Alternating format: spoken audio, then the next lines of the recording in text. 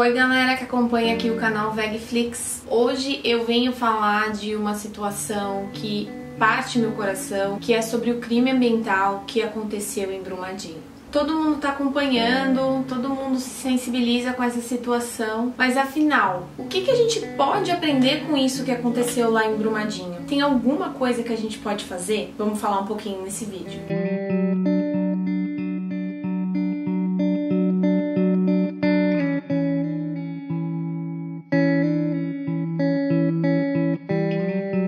Chegando agora, não esqueça de se inscrever aqui nesse canal e já dá o like nesse vídeo para você não perder nada que tá passando por aqui. Se você é no mínimo antenado com o que tá acontecendo no Brasil, você deve ter visto, vou dar uma resumida aqui na história, que no último dia 25 ocorreu mais um crime ambiental em Minas Gerais, na cidade de Brumadinho, com o rompimento de uma barragem de responsabilidade da mineradora Vale. Milhões de metros cúbicos de dejetos de minérios simplesmente despencaram, atingindo a área administrativa da Vale, comunidades da região e o rio Paraupeba.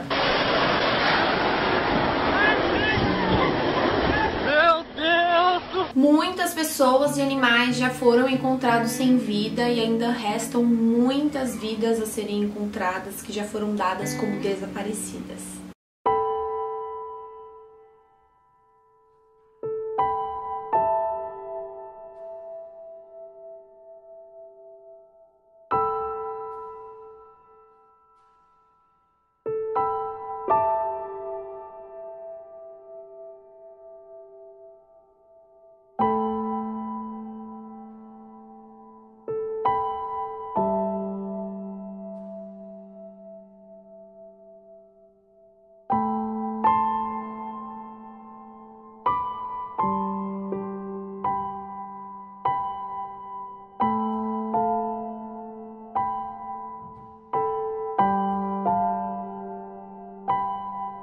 E com esse resultado que a gente já tem, infelizmente já é possível concluir que o prejuízo em vidas já é maior com o que aconteceu em Mariana em 2015, que também foi uma situação muito lamentável. Um fato que me revolta muito dessa situação é que já existia consciência de que isso poderia acontecer. Jornalistas e especialistas já haviam alertado anteriormente que essa era uma situação possível, um rompimento da barragem e nada foi feito nem pelas empresas privadas e nem pelo governo. E se foi feito alguma coisa também, a gente já consegue ver que não foi satisfatório. E isso gera muita revolta em mim, em, em muitas pessoas também. Queria até saber como que vocês se sentem, tanto com o posicionamento de empresas privadas, como o posicionamento do governo. E aí o meio ambiente entra em descaso e a gente simplesmente esquece esquece que o prejuízo do meio ambiente ele não é só do meio ambiente. Ele também é um prejuízo econômico e principalmente um prejuízo para muitas vidas.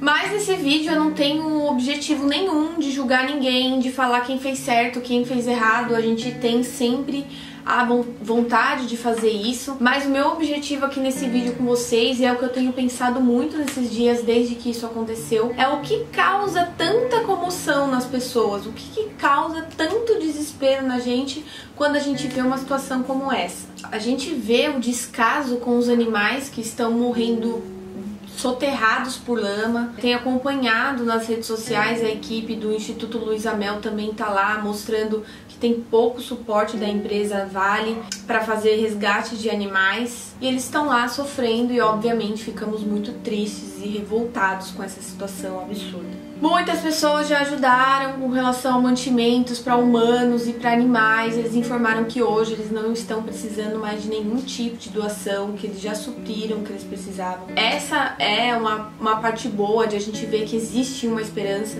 que as pessoas de fato estão unidas, fazendo o melhor que elas podem para sair dessa situação. Mas eu também queria trazer essa situação para dentro da nossa vida, no nosso dia a dia.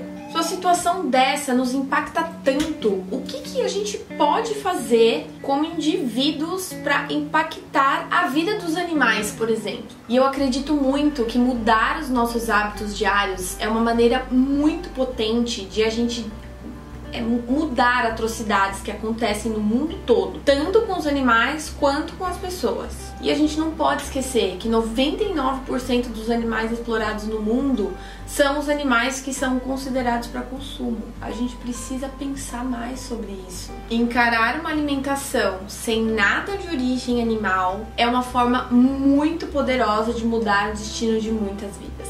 A começar pelos animais que deixam de ser explorados e também com relação à sociedade e à sua saúde. Vamos juntos olhar para esses animais sofrendo, que estão morrendo. São os mesmos animais que vão parar no nosso prato.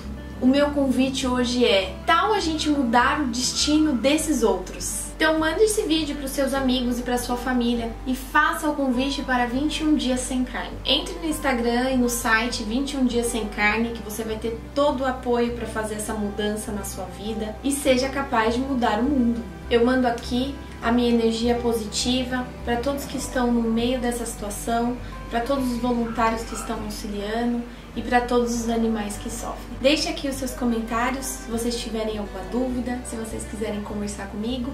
Tem mais conteúdo no meu Instagram, Carol Vida Vegan. E eu vejo vocês no próximo vídeo. Vegflix, o universo veg em um só canal.